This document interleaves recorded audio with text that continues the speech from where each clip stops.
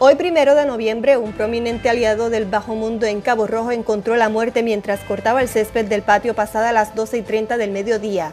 Héctor Rivera Carrero, conocido como Cachi, recibió múltiples impactos de bala cuando frente a su residencia pasó un vehículo en el que al menos se identifican dos personas en su interior.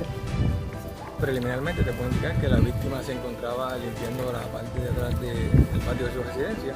Cuando llega un individuo eh, dos individuos en un vehículo y le hacen varias detonaciones.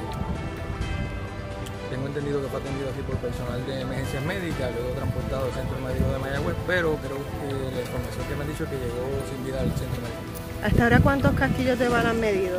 Pues tenemos alrededor de 20 pisos de evidencia. La información me dice que llegó doctor al centro médico de ¿Puede dar detalles del caso de él? ¿En qué estatus tenía eh, un juicio pendiente por delito de asesinato en el Tribunal de Mayagüez se alega de que él eh, le dio muerte a su esposa. ¿Usted cree que esto esté relacionado entonces a los incidentes previos que tenía la persona? Pues como siempre digo, eh, hasta el momento no tengo evidencia que me relacione una escena con la otra, pero no podemos descartar ninguna posibilidad. ¿Esta persona era un narcotraficante o algo relacionado?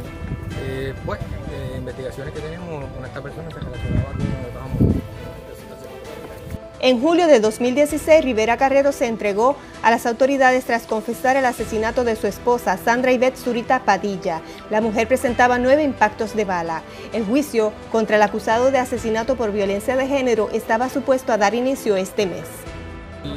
Ya había pasado los seis meses de la constitución y estaba por haber este es el séptimo asesinato en Cabo Rojo en lo que va del año. El pasado domingo 27 de octubre se reportó un doble asesinato en el centro del pueblo cuyo móvil aún se desconoce y no se han producido arrestos.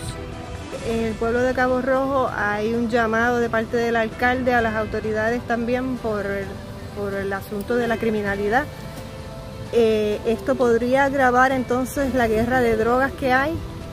Pues tengo entendido que el área tiene un plan de trabajo relacionado en el área para controlar la incidencia criminal eh, relacionado con los asesinatos. Este, entiendo que el área está haciendo un trabajo con relación a eso.